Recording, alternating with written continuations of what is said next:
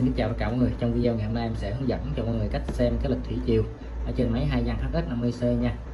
Đây là máy định vị hai gian HX50C. Thì bây giờ em sẽ hướng dẫn cho mọi người cách xem lịch thủy chiều trên máy nha. Đầu tiên để mà xem lịch thủy chiều trên máy thì mọi người kéo con giỏ nè đến vị trí bất định ở trên máy chỗ nào cũng được. Rồi bấm enter một cái nè. Rồi kéo xuống chữ tìm, bấm enter. Thì ngay lúc này trên máy sẽ hiển thị trong cái danh sách. Thì mọi người chỉ cần bấm vào phím ô tô.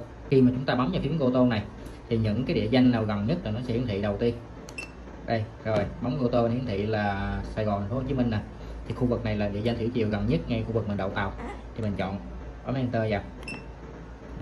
Đây là địa danh thủy triều nè, cái chữ T mọi người thấy không? Đó, để mà xem cái danh sách thủy triều mình kéo cái con chỏ này vào chữ T, bấm enter cái này rồi, bấm thông tin. Rồi, thì đây là cái danh sách thủy triều chúng ta xem nè. Đây là ngày tháng nha mọi người. 2024 nè 17 tháng 4 đây là thời gian 12 giờ 29 phút nè đó đây là thời gian mà mặt trời mọc nè mình lúc 5 giờ 41 sáng thời gian trăng lên là 1 giờ 3 1 giờ 3 phút sáng. Và thời gian hoàng hôn là 6 6 giờ 4 phút tối. Đó và trăng lặn là 1 giờ 4 phút nè đó. Nó sẽ có khung giờ thời gian là, là bình minh hoàng hôn rồi trăng lên trăng lặn. Đó rồi thì đây là cái danh sách thủy chiều thì đây mọi người để ý là cái phần màu đỏ nó cho phép chúng ta xem thủy chiều là lên còn phần màu xanh là thủy chiều xuống nha tức là màu đỏ là nước lớn còn thời gian mà trong khu vực màu xanh là nước gồng nha. Bây giờ mình kéo cái vạch màu đỏ này tới khu vực mà chúng ta muốn xem nè. Đây là hiển thị thời gian 7 giờ 29 phút là mực nước sẽ lên 1,14 mét. Rồi mình kéo lên đỉnh điểm của màu đỏ nè. Đó đỉnh điểm của cái màu đỏ là 12 59 phút chưa là mực nước sẽ lên là 3,1 mét nè. Đó là, là mực nước cao nhất. Rồi bắt đầu từ qua cái vạch màu xanh này bắt đầu nước gồng này qua vạch màu xanh là nước gồng nha. Đó. bắt đầu là từ 7 giờ 14 phút chiều là mực nước sẽ xuống còn phải 2 2,61 mét. Đó.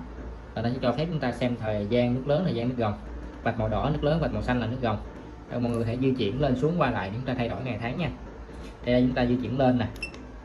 Đó, di chuyển lên để thay đổi qua ngày hôm sau ngày 18 nè 19 20 là mình xem ngày đây nè.